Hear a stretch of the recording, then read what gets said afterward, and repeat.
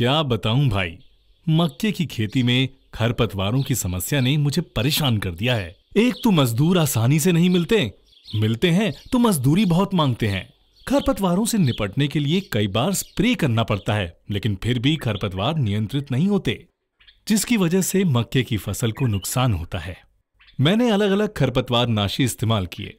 कुछ के प्रयोग से तो फ़सल भी पीली पड़ जाती है, जिससे फ़सल का विकास सही से नहीं हो पाता। परिणाम स्वरूप उत्पादन कम मिलता है। इससे बचने के लिए अधिक मजदूर लगाकर निराई गुड़ाई करवानी पड़ती है। इसमें काफ़ी खर्च हो जाता है, लेकिन ये खरपतवार फिर भी पूरी तरह से नियंत्रित नहीं होते। फिर मुझे एक दिन पीआई का एलीट मिला। मैंने एलीट भी प्रयोग किया, पर जब पीआई के एलीट का प्रभाव देखा तो वाह, मक्के के खेत में खरपतवार ऐसे गायब हुए कि जैसे थे ही नहीं। पीआई के एलीट ने तो मेरी ज़िंदगी बदल दी। मुझे समझाया गया कि पीआई का इलीट काम कैसे करता है। यह बहुत ही आधुनिक H P P D inhibition तकनीक पर आधारित खरपतवार नाशक है, जो खासकर मक्के की फ़सल के लिए बना है। पीआई के इलीट के छिड़काव से खरपतवार में क्लोरोप्लास्ट की क्रियाविधि प्रभावित हो जाती है, जिसके कारण पत्तियों में उपस्थित हरे क्लोरोप्लास्ट भोजन का निर्माण बंद कर देते हैं। परिणाम स्वरूप खरपतवार के पत्ते पीले और कमज़ोर पड़ने लगते हैं तथा सूख कर नष्ट हो जाते हैं। जबकि मक्के के पौधों पर उसका कोई भी विपरीत असर नहीं पड़ता है।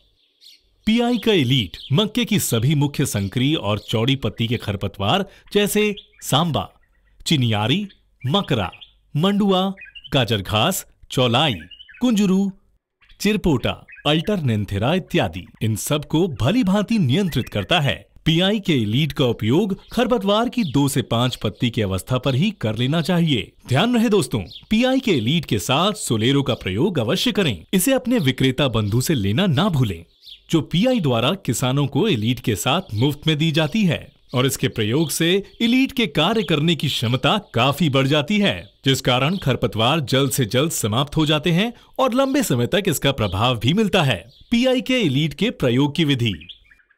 एक साफ़ बाल्टी में साढ़े नौ लीटर पानी लें। इसमें 500 ग्राम सुलेरो डालकर अच्छे से मिला लें। पूर्णता घुलने के बाद अब इसमें 30 एम एल पीआई का इलीट डालकर अच्छे से मिलाएँ ताकि वो पूरी तरह से घुल जाए। इस तरह आपका 10 लीटर मुख्य घोल तैयार हो गया है।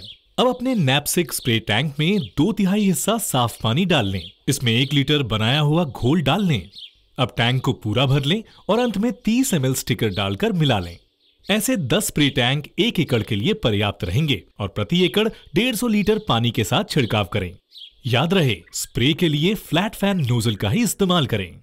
ध्यान रहे, स्टीकर को कभी भी मुख्य घोल में ना मिलाएँ। इससे घोल फटने की संभावना हो सकती है। छिड़काव करने से पहले ये सुनिश्चित कर लें कि मौसम साफ़ हो, अगले दो तीन घंटे में बारिश की कोई संभावना न हो। आइए जानते हैं कि पीआई के एलीट का प्रयोग मक्के के किसान को किस प्रकार लाभ पहुंचाता है। पीआई के एलीट का मक्के के किसी भी प्रजाति एवं किसी भी अवस्था पर कोई विपरीत प्रभाव नहीं पड़ता। पीआई का एलीट का मक्के के बाद बोई जाने वाली अन्य फ़सलों पर भी कोई विपरीत प्रभाव नहीं पड़ता।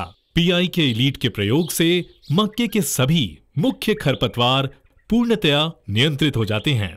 पीआई के इलीट के प्रयोग से बार बार मजदूरों की ज़रूरत नहीं पड़ती। खरपतवारों की समस्या से मुक्ति मिलने के कारण मक्के के पौधों का समुचित विकास होता है और खेती की लागत काफ़ी कम हो जाती है। उत्पादन भी अधिक मिलता है और हमें मिलते हैं चमकदार दानों से भरे हुए शानदार भुट्टे, यानी किसानों के लिए मुनाफा ही मुनाफा। आज ही पीआई का इलीट अपनाएँ और मक्के के सभी मुख्य संकरी और चौड़ी पत्ती के खरपतवारों से मुक्ति पाएँ। पीआई इलीट के प्रयोग संबंधी सावधानियाँ। क्या करें? पीआई के इलीट के इस्तेमाल से पहले सुरक्षा निर्देश पत्र को ध्यान से पढ़ें और सुरक्षा निर्देशों का पालन करें। पीआई के इलीट की बताई हुई मात्रा का ही इस्तेमाल करें। पीआई के इलीट का उपयोग खरपतवार की दो से पाँच पत्ती की अवस्था पर ही करें। पीआई के इलीट के साथ मुफ़्त मिले सोलेरो का उपयोग अवश्य करें। बताए गए निर्देश के अनुसार ही घोल बनाएँ। फ्लैट फ़ैन नोजल का ही इस्तेमाल करें।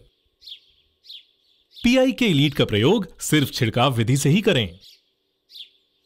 घोल बनाने के लिए साफ़ पानी का इस्तेमाल करें।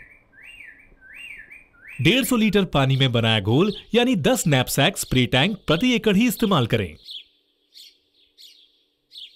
क्या ना करें। स्टिकर को स्टॉक घोल में कभी ना मिलाएँ। स्टॉक घोल को ज़्यादा समय तक ना रखें। गंदा पानी प्रयोग ना करें। मक्के के अतिरिक्त किसी और फ़सल पर प्रयोग ना करें। अगर दो से तीन घंटे में बारिश की आशंका हो तो इसका प्रयोग ना करें।